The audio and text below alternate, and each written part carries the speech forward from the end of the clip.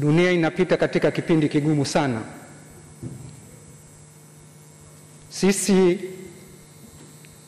wa Tanzania tunapaswa kumshukuru sana Mwenyezi Mungu mtukufu kwa kutujalia Amiri Jeshi Mkuu jasiri hasa katika kipindi hiki tulicho nacho.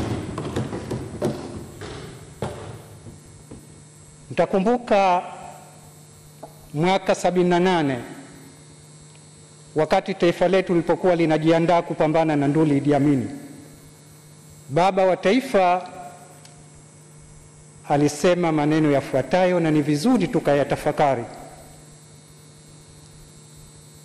Nia ya kumpiga tunayo, uwezo wa kumpiga tunao, na sababu ya kumpiga tunayo.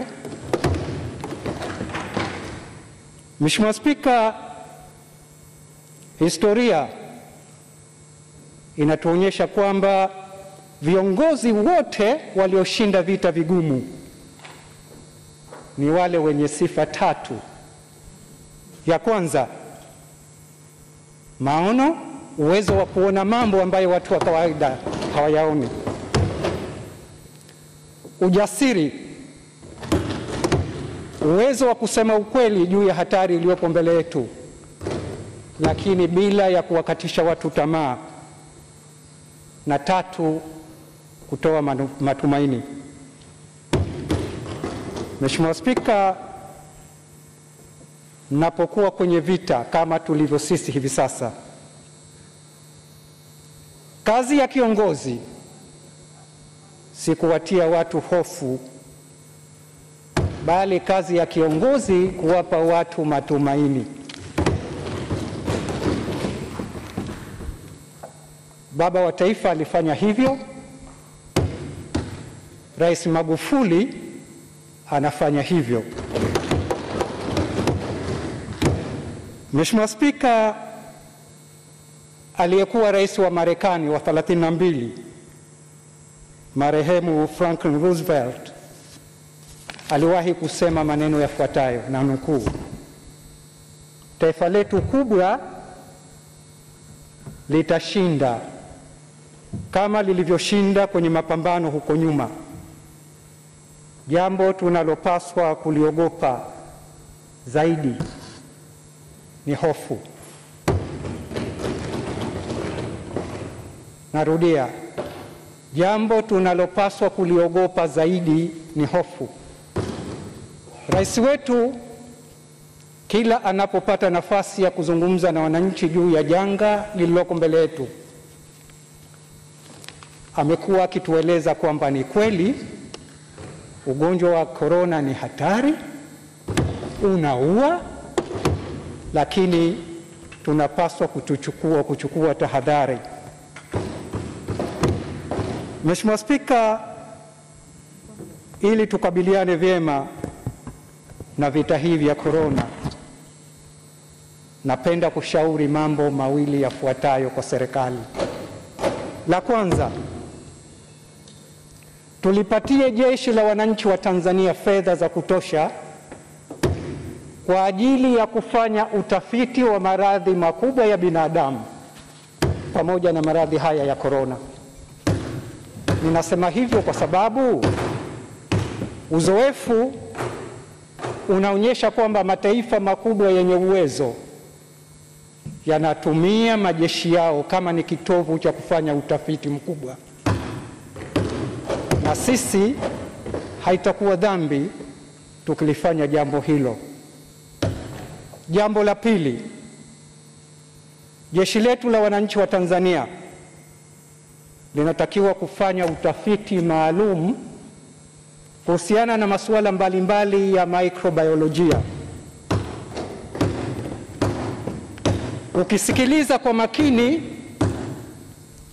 mjadala na malumbano yanayoendelea kati ya mataifa makubwa, utabaini kuna jambo ambalo limefanywa lakini hatulifahamu vizuri juu ya nini hasa chanzo cha maradhi ya korona.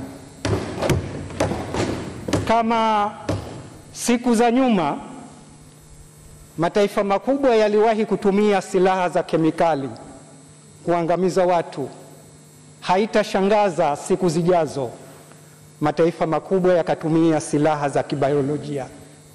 Ndio maana ninasema jeshi letu la wananchi wa Tanzania lifanye utafiti juu ya jambo hilo. Mheshimiwa Spika, jambo la mwisho,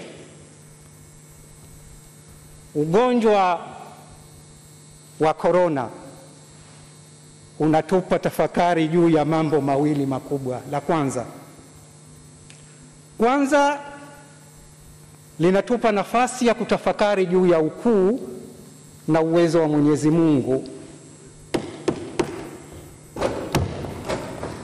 linalomshinda binadamu kwa Mwenyezi Mungu linawezekana. Nakubaliana sana na kauli ya Mheshimiwa Rais wetu, tumtangulize Mungu katika kila jambo.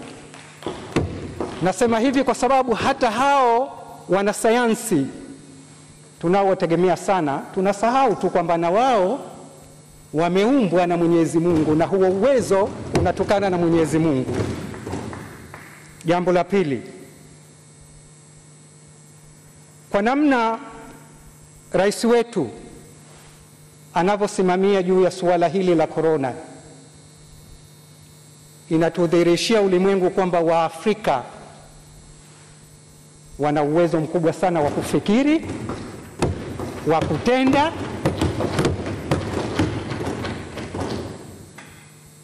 Sasa Waafrika tuitumie nafasi hii kufanya mambo makubwa, na nafikiri tunaweza.